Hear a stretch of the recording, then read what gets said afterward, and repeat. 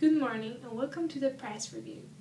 The Warsaw Voice invites all art lovers to see a unique collection of 250 pastels by the most recognized artists from all over the world, such as Jean-François Millet, Stanisław Ignacy Witkiewicz, or Stanisław Wyspiański.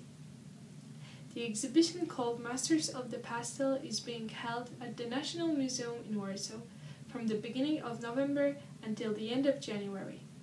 Owing to the delicate nature of pastels, the works cannot be frequently displayed to the public, which is why the exhibition is enjoying great popularity. According to the visitors' opinions presented on TVP Warszawa, the exhibition is delightful. Most certainly, the event is a wonderful opportunity to broaden your horizons and deepen your knowledge about pastel art. So if you are interested in art, don't miss it. Another must-see cultural event in Warsaw, highly recommended by Gazeta Wilanowska, is the Royal Garden of Light, an annual exhibition set up around Warsaw's Wilanów Palace. The opening ceremony took place on 24th of October, but the full exhibition has been available from the beginning of November. The event is in fact a light show. Visitors can admire a variety of statues ablaze with thousands of bright lights. This year's leitmotif is Alice in Wonderland, which meets with viewers' great approval. The Royal Garden of Lights is an unrepeatable chance for both children and adults to enjoy a unique light show telling a story about the past. For those who are interested but unfortunately cannot attend the event now, the good news is that it will be held until 13th of March. Now a few words about the weather. Gazeta Wyborcza reported a sharp drop in temperature in Warsaw at the beginning of New Year. It was over 17 degrees Celsius below zero on 5th of January. Those who are subject to meteoropathy may have felt discomfort due to low pressure, which ranged between 990 hectopascals and 1000 hectopascals. Fortunately, the average wind speed did not exceed 17 km per hour. The Institute of Meteorology and Water Management says the frontal system sojourning above Poland is approaching from Scandinavia. It's called a cold polar continental climate. According to the weather forecast in Gazeta Wyborcza, there will be no severe winter this year.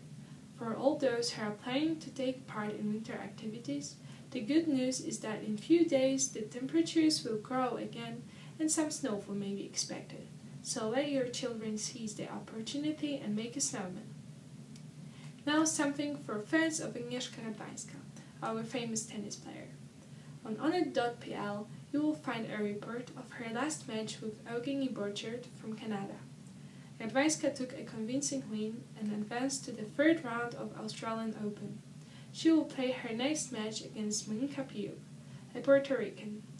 Although some experts believe that Radwańska should win easily, no one can be sure of the final result.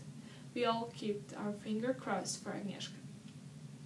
The news of the last terrorist attack, which took place in Paris on 13th of November, hit the frontal pages of all newspapers worldwide.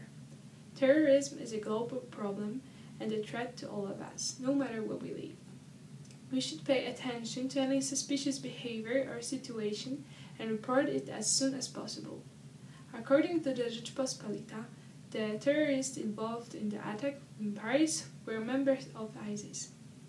The crime scenes took place in highly crowded public places, including a restaurant, a concert hall, a shopping center, and an underground station. 129 people were reported dead. At least 20 of them were foreigners. Most of the terrorists were killed, but the police is still looking for accomplices of the crime. To commemorate the memory of the victims, the light of Eiffel Tower were turned off. In an act of solidarity with Majoring France, some other countries displayed the colors of the French flag on their major building facades. the citizens of Krakow will be interested in an article in Gazeta Wyborcza which covers the local ecological problem of heavy smoke reported on the night of 26 November.